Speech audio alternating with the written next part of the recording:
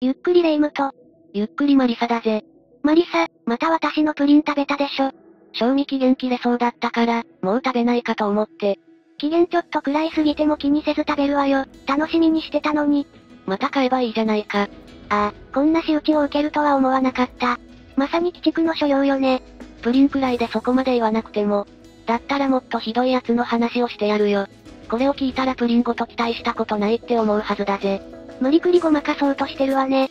今回解説するのは飛鳥時代に活躍した中野上の王子についてだ。権力闘争に勝ち抜くためとはいえ、身内だろうがかつての仲間だろうが始末していったんだぜ。へえそれってプリン勝手に食べるより残酷なの？そんな中野上の王子のエピソードを紹介解説するぜ。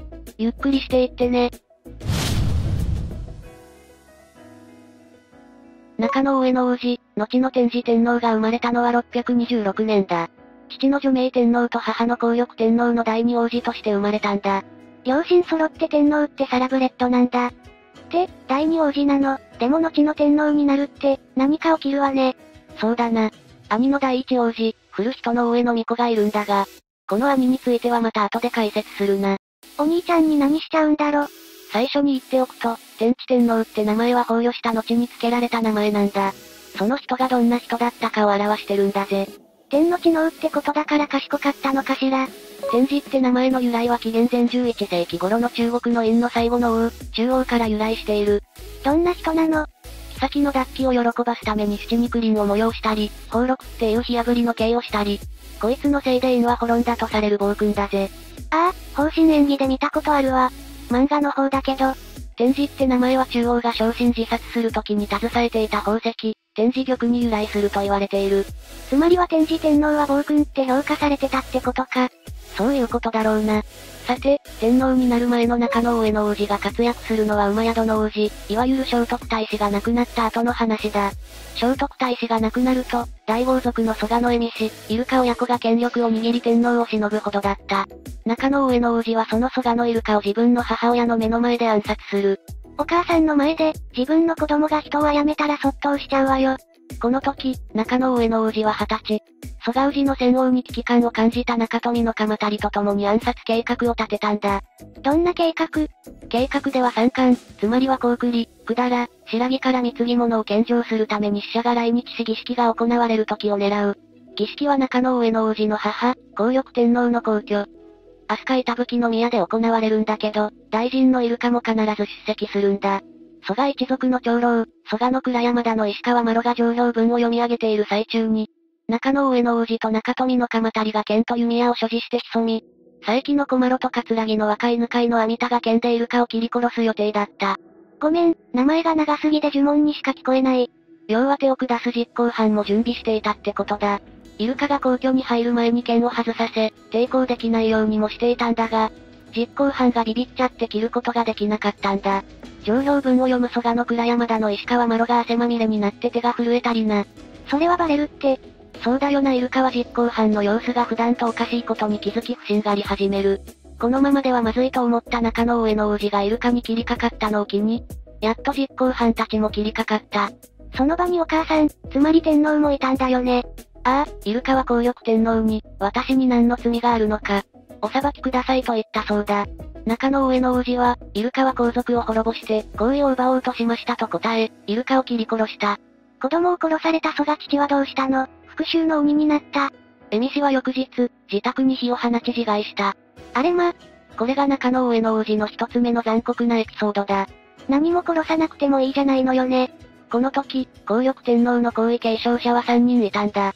中野上の王子、兄の古人の上の巫女、そして聖徳太子の子供、山城の上の王だ。聖徳太子って子供いたんだ。ああ。だが山城の上の王はイルカに追い込まれ首を吊って自害してしまったんだ。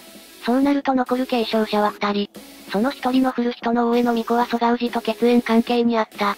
イルカのいとこに当たるんだ。それじゃ中野上の王子も追い込まれちゃうじゃないの。そう思ったのかもしれない。だから蘇我氏を排除することにしたそうだぜ。やられる間にやったのね。645年にイルカを暗殺した事件を一種の変っていうぜ。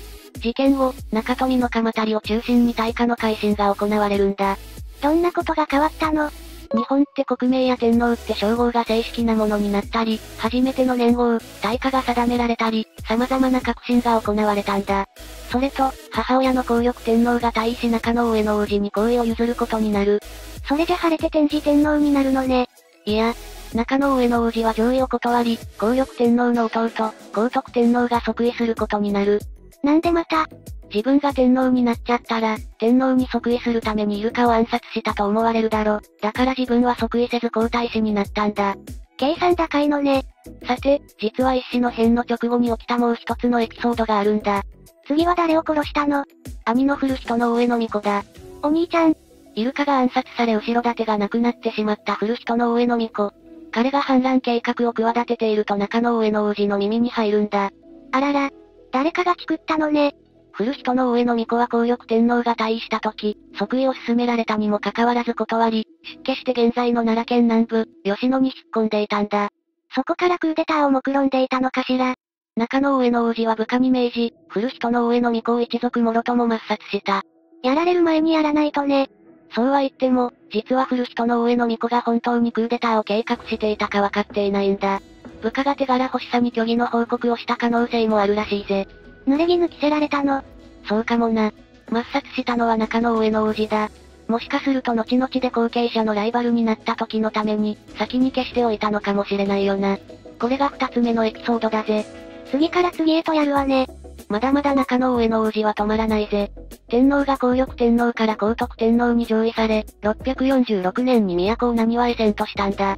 その3年後、今度は蘇我の倉山田の石川麻呂の反乱計画が中野上の王子の耳に入る。その人ってイルカ暗殺の時に汗だくで震えていた人？そうだな。暗殺の仲間だった人物だぜ。大化の改新後、蘇我の倉山田の石川麻呂は右大臣を務めていたんだ。その蘇我の倉山田の石川麻呂が中野上の王子を殺害しようとしたってイボテイの蘇我のひむかが密告をする。蘇我氏同士で何してんの？また濡れ衣だったら大変よ。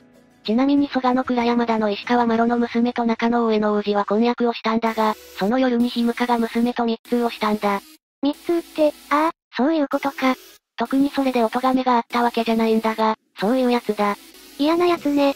密告された蘇我の倉山田の石川麻呂は兵に包囲された後自害をし、妻や子も後を追ったんだ。どうせそれもまた嘘の密告なんでしょ。密通する腐ったやつだもん。嘘に決まってる。ああ、嘘だった。蘇我の倉山田の石川麻呂の遺品からは中野上の王子への贈り物で溢れ、謀反の気配は一切なかったそうだ。首謀者が誰だかわかっていない。皇徳天皇や中野上の王子と中富の鎌足りって説があるな。もっと腐ってる奴がいたか。これが中野上の王子の三つ目のエピソードだ。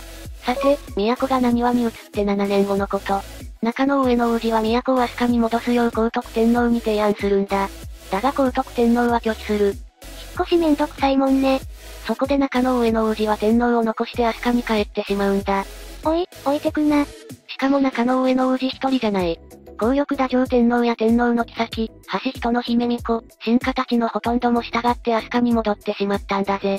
おい、天皇がぼっちになるじゃないか。気を落とした皇徳天皇は翌年に病気になって崩御した。それはひどい話だ。ちなみに何話にあった何話のながらの豊崎宮は686年の正月に全焼してしまった。あらら。これが4つ目のエピソードになるな。続いては皇徳天皇の息子、有馬の巫女のエピソードに入る。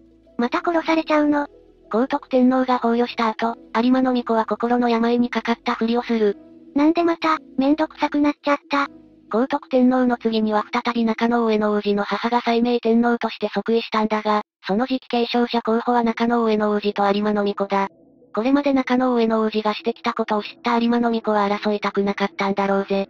確かに、また嘘の謀反を押し付けられてやられそうだもんね。有馬の巫女は療養のためと嘘をつき現在の和歌山県、白浜温泉に引っ込んだんだ。ゆっくりしてね。